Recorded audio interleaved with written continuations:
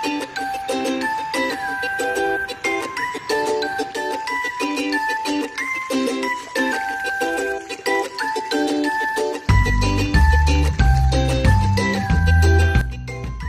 morning guys! My name is Kuya Mikey. Welcome to my channel.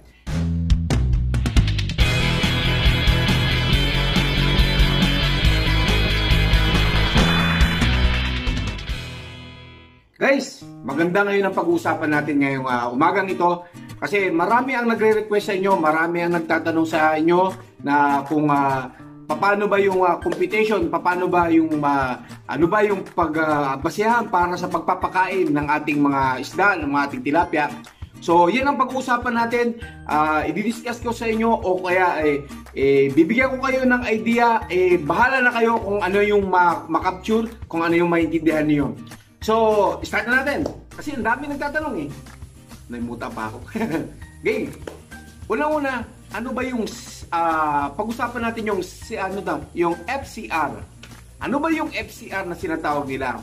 Kasi may ang pinaka-average na ang pinaka amount ng value sa FCR ng ating tilapia is 1.5 to 1.8. So, yan ang pag-usapan natin muna sa FCR. Ano ba yung FCR na tinatawag nila? Feeds conversion ratio. Feeds conversion ratio. Ito yung ipinapakain natin sa ating mga tilapia. Kasi ang pinag-uusapan natin yung pagkain. So, okay. Bibigyan mo muna kayo ng formula para medyo mer ano muna ang ating yung pag-iisip. Formula ng FCR. FCR is equal to uh, total feeds. Ibig sabihin, uh, total na, oh, halimbawa, nagpakain tayo ng 5 uh, months. So, alam natin kung ilan yung pinakain natin. So, yun ang una mo natin aalamin na uh, ilang sako, ilang bang kilo yung ating pinakain. Uh, for example, uh, nagpakain tayo ng anim na bag. Ang isang bag is uh, ang isang bag is 25 kilo. Anim na bag yung ating pinakain. Meaning, meron tayo ng 150 kilos na pinakain sa ating fish farm within 5 months. Tapos, divided by magkano yung na-harvest natin. Halimbawa, uh, within 5 months, nakapag-harvest kilo at timbang ang pinag-uusapan natin dito guys ha. Hindi dami, hindi ilan na piraso ha, yung timbang. So, nakapag-consume tayo ng 5 bags, uh, 6 bags na amounting 150 kilos divided by magkano yung na-harvest natin, ilang kilo yung na-harvest natin. For example, naka-harvest tayo ng 100 kilos within 5 months.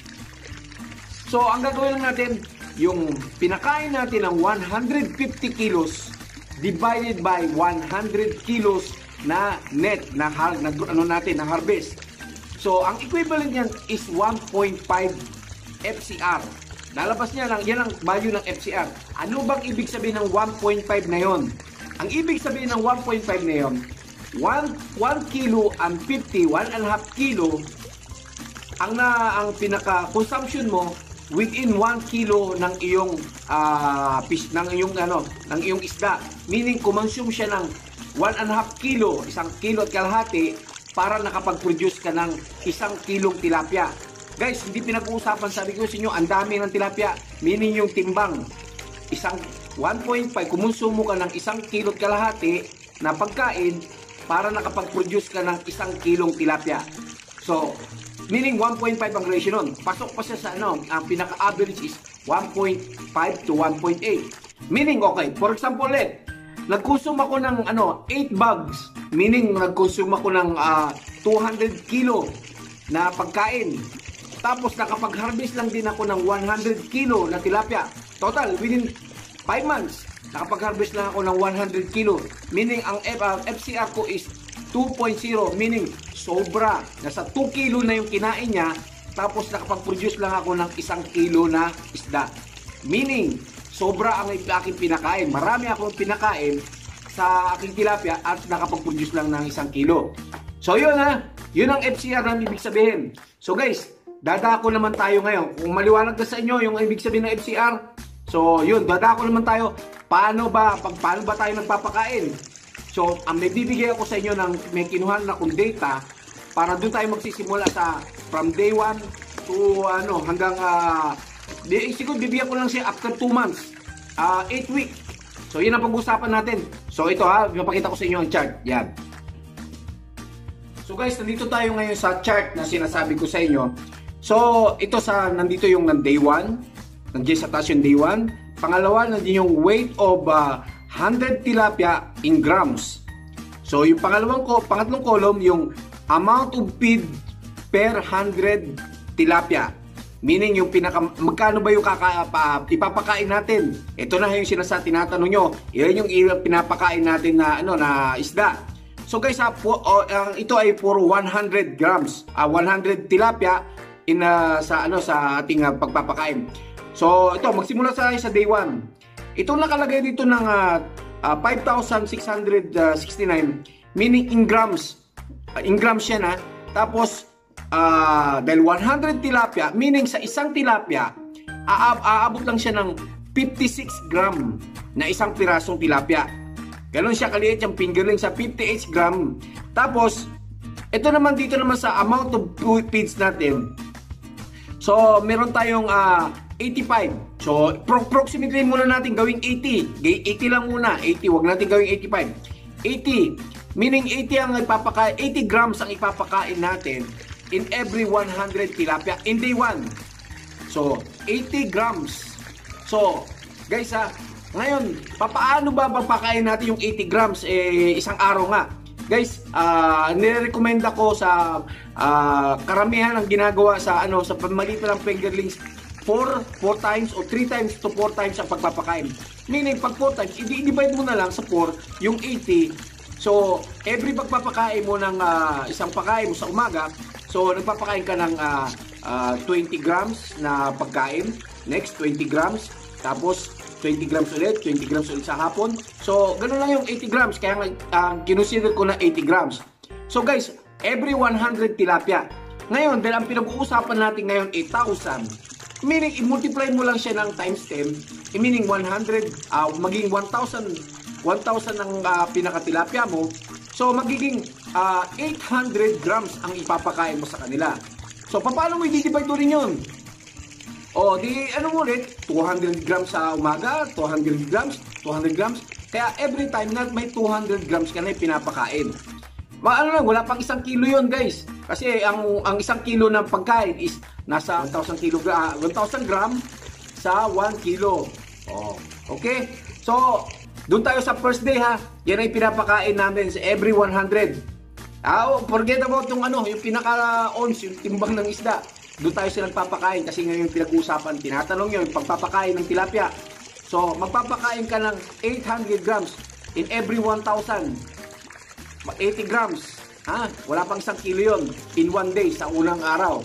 Ngayon, pagdating ng one week, mag-a-adjust ka na. Kasi dito, pa, adjust para ano tayo specific. Every week na lang tayo mag-adjust. So, kinonsider ko dito na 93 dito. So, kinonsider ko na 90. Kasi 80 kanina, magiging 90. Eh, after one week, mag increase ka na ng 1, ng, uh, na, magiging 90, magiging 900 na ang kilogram, uh, ang kilogram, 900 grams in every 1,000 na tilapia. Ha? 1,000 na pinag-usapan natin, hindi na 100. 1,000 na tilapia, meaning 900 grams na, wala pang isang kilo yun. So, after one week ha, nag-increase siya ng 10 grams. So, yun. After 2 weeks, para uh, mabilisan ng ano, bilangan. After 2 weeks, naging siyang 100.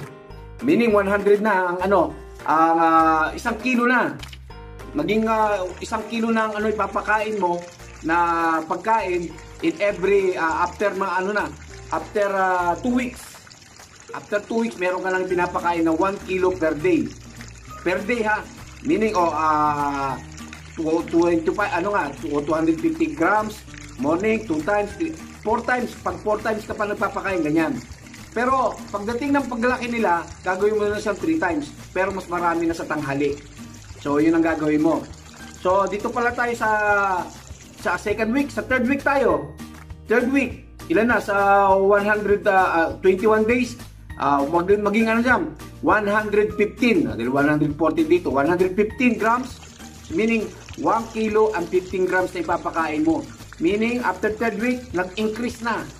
Nag-increase na ng 15 grams. So, after 1 month, after 28 days, oh, ang magiging ano na, bali 100, 127 dito. Gawin natin 130. meaning nag-increase na naman siya ng 15 grams. 15 grams. Okay, summary natin within 1 month. 1 month. From uh, 80 grams, uh, magawin natin, uh, dahil 1,000 nga, magawin natin 800 grams in uh, one day. After 1 week, magiging 90 grams. So, after third week, magiging 150 grams. So, after 1 month, yung, uh, yung 28, uh, 28 days, magiging 130, meaning 1, 1 kilo and 30 grams na yung, uh, 300 grams na ipapakain mo in every, after 1 week. So, yun, Ah, tumataas siya after one first week, 10. 10 grams ang tinaas niya, tapos 15, tap, uh, 10, 10 grams, 10 grams, tapos 15 grams, 15 grams. Uh, after third week and uh, second, third week at fourth week, nagtaas na siya 15 grams. So yun guys ha, nagtataas ng ating papakain, ng ating, uh, so ituloy ko hanggang 2 uh, months. So after uh, 5 month, pwede ka na mag-mix guys. Dito sa after 1 month, pwede ka na mag-mix ng uh, uh, yung ibang pagkain, yung grower, para at least uh, natitikman na nila magpapalit na yung grow yung pag-purchase nila. Pero same pa rin yung timbang. Yung timbang pa rin ang ating uh, pinapakain sa kanila. Uh, ganun pa rin. Bali sa 4th week, uh, 130. After the 5th week, okay, nandito na tayo sa 5th week sa 35 days. Uh, okay, 140. Meaning, nag-increase na yung pagkain niya. Nag-increase na tayo ng 10. 10 grams ulit. Tapos, uh, after 6 uh, week, uh, 100 na nandito sa 42 days uh, kay 155 na grams so nag-increase na siya 15 after 6 uh, 6 weeks yun after 7 week yung 175 na ano ba 49 days yan 40 na 49 days yan 100 uh, 70 75 na 175 meaning nag-increase siya ng 20 20 grams and 20 grams so yun guys ah uh, pagdating ng uh, pagdating ng third week, dito na sa uh, pagdating ng 2 months, meaning nasa 195 na tayo. 2 months is uh, 60 days na, no? 60 days na yung pakain natin. So after 60 days, meaning nasa 200 grams na yung pinapakain mo. 2 kilo na ang pinapakain mo uh, every day. Daily na yun. Meaning nag-average siya. After na, okay, average natin. Okay, average summary. First week, uh, nag-increase siya ng 10 grams. Second week, 10 grams ulit. Third week, 15 grams. Ang itinataas, ang pinag-usapan natin, pinataas natin. Uh, tapos, uh, sa fourth week, 15 grams ulit. Sa 6 weeks, 15 grams. Tapos, 7, 8, 9, 10 uh, na grammage. Puro 20 grams nang itinataas bawat uh, increase ng ating pagpapakain ng ating tilapia. So yun, makikita nyo yung charts dyan. Papa, ipapakita ko rin sa inyo kung uh, magkano na yung dinadagdag. Pagdating ng, ano ha, pagdating ng 2 uh, months, 2 kilos na ang ating pinapakain ng ating tilapia. So from uh, 80, 80 uh, 800 grams to 2 kilo. O yun ang ating ipinapakain after 2 months. Kaya pag usa ang ano ko na sa inyo, paano ba yung pinapakain? Ang divided ng, ang divided po, pag apat na beses kayo nagpapakain, divided by 4. Tapos pagdating naman ng uh, uh, pag tatlo na pinapakain, pag malaki na, 1 uh, to 1 meaning uh, mas marami sa tanghali pag tatlong beses na kayo nagpapakain. Uh, tat, uh, isang kilo, kunwari, uh, katulad yan, 1 kilo, uh, divide nyo lang, uh, 25 sa umaga, 500 sa gabi, uh, sa tanghali, tapos sa hapon, 250. 250 sa umaga, 500 sa tanghali, balit.